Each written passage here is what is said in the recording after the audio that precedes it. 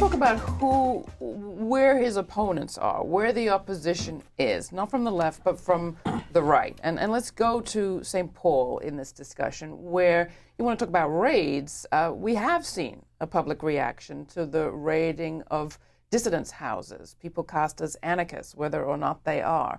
Um, massive amounts of police violence used in what looks like an entirely preemptive way on both journalists and potential protesters. We don't know whether any of those people plan to protest, in fact. We're going to talk much more about this on this program. But, Rebecca, why don't we start with you?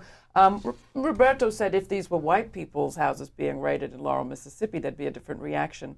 Um, are they getting away with, with, with treating anarchists? Of course, because we're all focused on the fact that Sarah Palin's teenage daughter is having a baby.